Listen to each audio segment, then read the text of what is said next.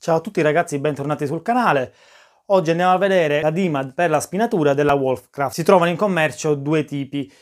La sola dima per la spinatura o quello che ho preso io, il kit completo. E ora andremo a vedere in che cosa consiste e come si utilizza. Ricordandovi, per chi non l'avesse fatto ancora, di iscrivervi al canale. In questo video vedremo soltanto una dimostrazione. Più avanti, il prossimo video, spero che uscirà la prossima settimana, lo metterò realmente alla prova costruendo qualcosa. Vi lascio un po' sulle spine, visto il tema. Il kit si presenta con vari accessori. Abbiamo questa colla della Pattex, la dima vera e propria che è composta da due pezzi. Questa è qui la parte principale e il battente che poi si monterà qui sotto, svitando queste due viti, come riscontro per riportare la misura, poi vedremo come. Tre misure di spine, 6, 8, 10, le relative punte. Qui troviamo gli stop di profondità per ogni punta e questi marcatori. Fra poco vedremo come si utilizzano. Infine c'è una chiavetta esagonale che servirà poi per andare a bloccare lo stop sulle relative punte. La parte principale del jig, dicevo, è composta da due, da due elementi. Andiamo a analizzare innanzitutto questo. Nella parte centrale sono evidenti i tre fori, che sono da 6, da 8 o da 10 mm. Troviamo questi cilindri in resina, sembra che sia resina, che serviranno per andare a fare da, da battuta, quindi se dobbiamo utilizzare il 6, il 10 o l'8. C'è una scala millimetrata da questa parte per andare a regolare la profondità della battuta, in quel caso manualmente. Cosa importante sono questi dentelli. Non so se riesco a farveli vedere, queste linee qua, 1 e 2, che indicano perfettamente il centroforo delle tre misure. Anche in questo caso, durante l'utilizzo, vi andrò a far vedere l'importanza di queste linee qui. Di fondamentale importanza sono queste tre linee marcate al centro della dima, dove indicano il, il senso di battuta del pezzo da, da lavorare. Se dovessimo fare un foro da 6 mm su questa tavola, dovremmo far passare il pezzo in direzione di questa linea. Quindi praticamente così. In automatico, andando a battuta, siamo al centro perfetto del bordo del pannello. Se dovessimo utilizzare il foro da 8 mm, in questo caso utilizzeremo questa linea qui, quindi questa battuta, in questo modo.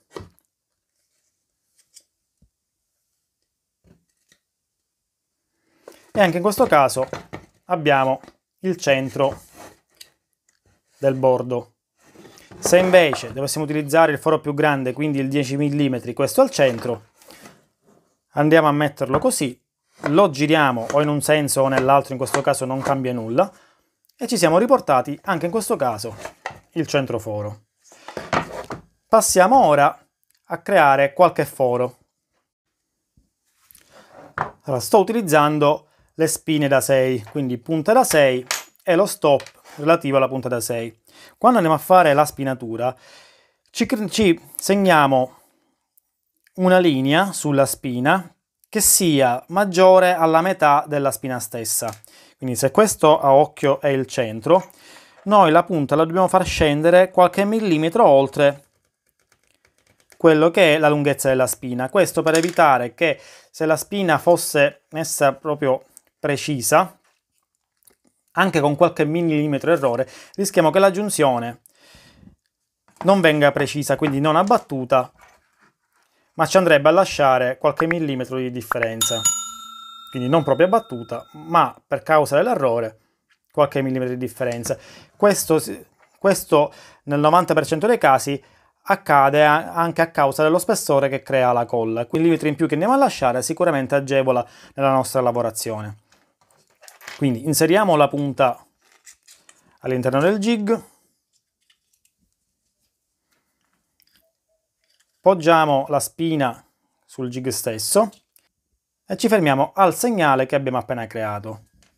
Prendiamo lo stop e con la chiavetta esagonale lo blocchiamo e abbiamo così fissato la profondità della, del foro della spina. Quindi spina da 6, diagonale del 6, quindi prendo il mio pezzo da lavorare, appoggio andando in battuta con questi due dentelli, inserisco la punta, vado qualche millimetro indietro, do velocità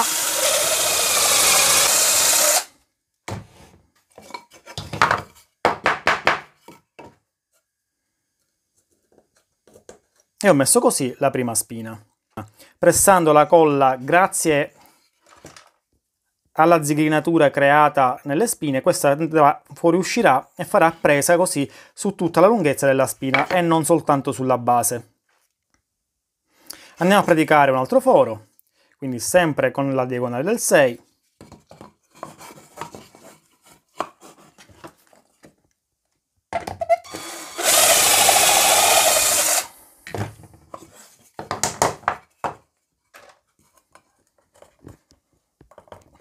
Ed ecco qua, messe le prime due spine.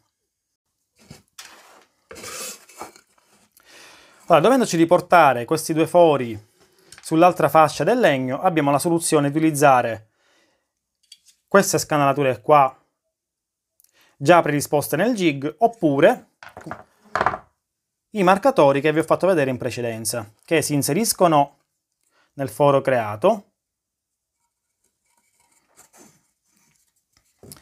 e si mandano in pressione, quindi andranno a marcare il punto su cui vogliamo applicare la spina. Un, un lavoro un po' meno preciso.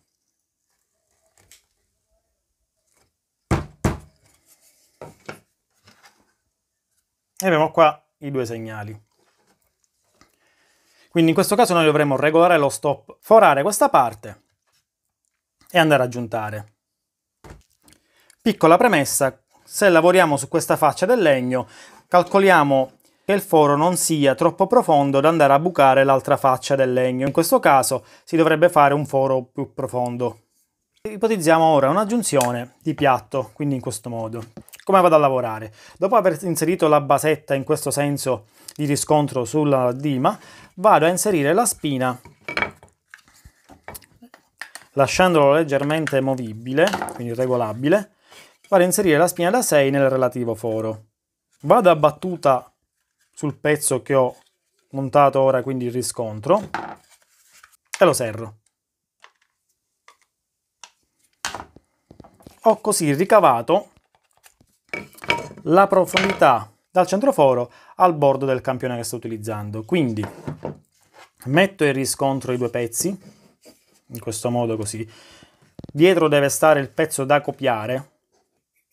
Utilizzando la scanalatura che c'è sul frontale in corrispondenza del foro della spina che stiamo utilizzando, la vado a inserire in questo modo qui.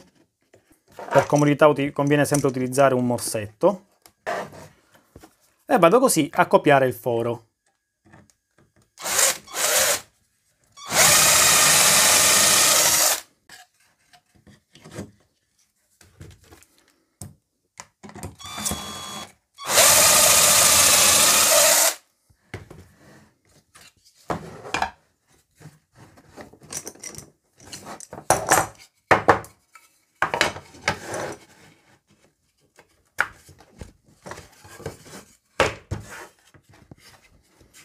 Ed ecco qua l'aggiunzione.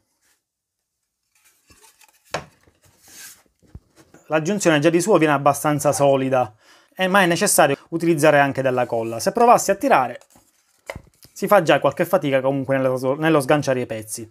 E se dovessi invece andare a fare un'aggiunzione di questo tipo, si parte sempre nello stesso modo, regolando la basetta in corrispondenza della spina che stiamo utilizzando. In questo caso io l'ho già regolata per la prova che ho fatto poco fa e infatti sono già abbattuta con la spina da 6 mm. La cosa che differisce dalla prima giunzione è la profondità della spina fra un pezzo e l'altro. Infatti, lavorando in questo modo abbiamo possibilità di frenare la spina un po' quanto vogliamo. Su quest'altro pezzo invece abbiamo il limite dello spessore del pannello, quindi per intenderci questo è un 18 mm, ci fermiamo a un 9 mm, quindi vado a segnare la spina, almeno io faccio così, e segno la spina stessa, questa distanza qua. Lavoro comunque sul primo pezzo che mi dà più possibilità di regolazione. Inserisco la punta nel jig per calcolarmi la profondità della punta. Quindi deve entrare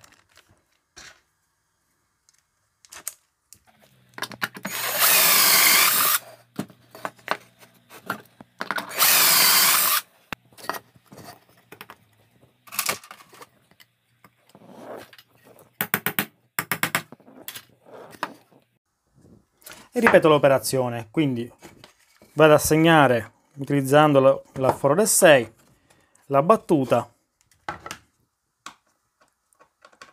serro il pezzo. Anche in questo caso mi sono creato la misura esatta dal bordo al centro del foro. Per comodità ammorzetto i pezzi e in questo caso per, non utilizzerò più questa scanatura ma bensì questa, sempre in corrispondenza della spina che stiamo utilizzando, quindi 6 mm, linea del 6 mm. L'appoggio così in questo modo e vado in battuta e in questo caso ho già determinato la posizione precisa del foro da utilizzare. Ricordiamoci prima di fare il foro di cambiare la profondità della punta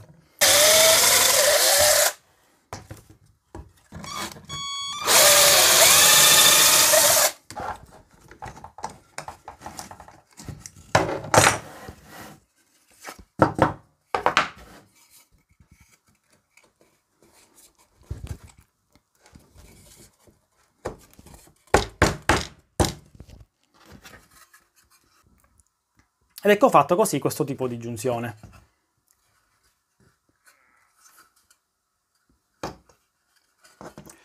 Se volessimo invece giuntarlo non a filo con il pannello ma ad una misura prestabilita, ad esempio qui, come potremmo fare? Utilizzando le linee di riscontro del centroforo del jig stesso. Quindi mi segno una determinata distanza il punto in cui deve andare montato il pannello considerando che sarà il centro dello spessore del pannello. E allineo in questo modo il, la, il segnale della matita con questo dentello del jig. Per calcolare invece la distanza delle due spine mi agevolo in questo modo. Metto il pezzo che devo giuntare in battuta. Utilizzo la scanalatura che c'è sul frontale del jig come punto di riferimento. Quindi in questo modo io sto creando misura della distanza delle due spine e la sua profondità grazie all'utilizzo delle tacche di misura sui laterali. Fatto il primo foro, sposto il jig in corrispondenza dell'altra spina, regolo la profondità